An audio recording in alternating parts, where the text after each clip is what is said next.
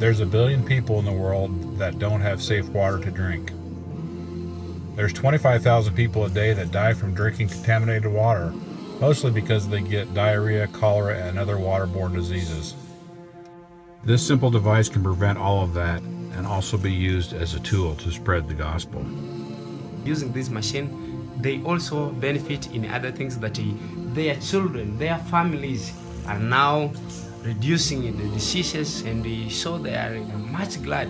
And uh, also, they also thank because through this machine we also reach people and they get uh, Bibles.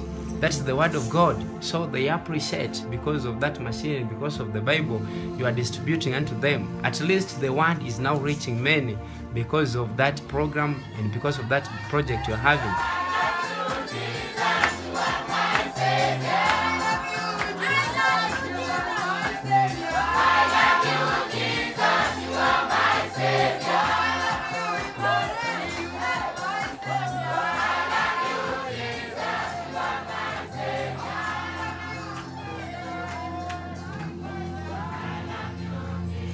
Swim has given us, they provide us with units and also they provide us with the Word of God, the Bibles.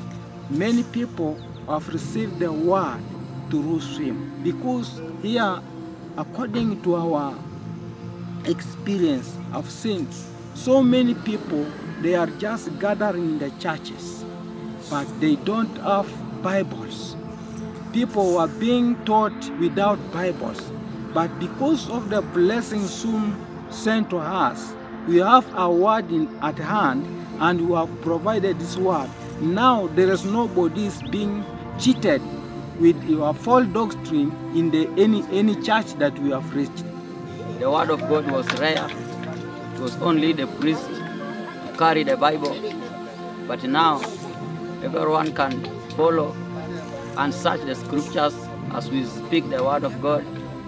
And we have seen also people getting message, getting what God wants them to be. Because it's not easy, not simple for some people to afford Bibles. But through your volunteering, your sacrificing, coming and visiting us, you have given us Bibles, blessed us, and it has also enabled us to read the Word of God and also to teach other people how God wants them to be and what the desires of God is unto men. So you've actually been a blessing unto us, Africa, and mostly in Kenya.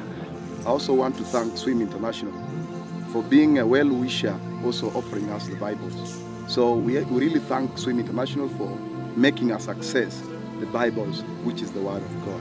Through this, we've seen people being attracted to the church, and uh, they're also feeling being part of the church by having and they can read the, the Word of God themselves. So I'm really grateful, and I don't have many words to define my thanks, but only to uh, thank God because of you people and also helping the preachers in the jungle. Thank you so much, and God bless you.